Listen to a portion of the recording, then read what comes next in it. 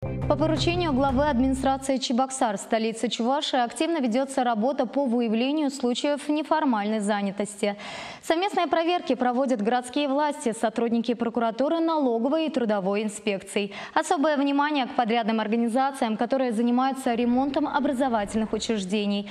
Как правило, в ходе проверок выясняется, сколько человек работает на объекте, какую зарплату они получают и со всеми ли заключены трудовые договоры. Кроме этого, специалисты изучают, на сколько процентов подрядчик сбил цену на аукционе.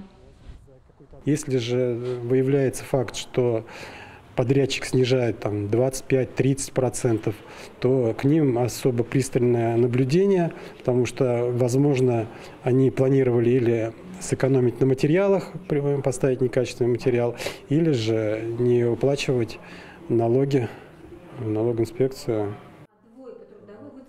Подобные проверки дают свои плоды. С начала года удалось выявить больше 4 тысяч работников без трудовых договоров. Это помогло дополнительно привлечь в бюджет республики налогов на сумму 16 миллионов рублей. Половина этих средств поступила в казну Чебоксар.